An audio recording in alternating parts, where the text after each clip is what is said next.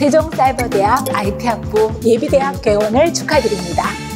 어, 디지털 대항해 시대에 디지털 기술이 우리에게 어떤 기회를 줄 수 있을지를 말씀드려 보고자 오늘 이 강연을 준비했습니다.